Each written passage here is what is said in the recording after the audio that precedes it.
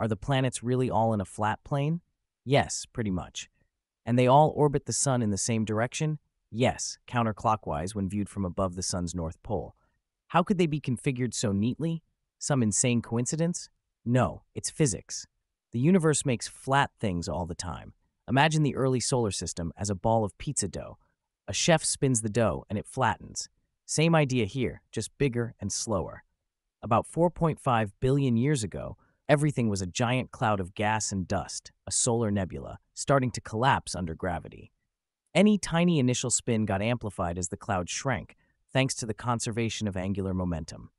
Spin faster, flatten more. Meanwhile, countless collisions between grains and clumps knocked out motions that didn't match the overall spin, leaving most material orbiting in one shared plane.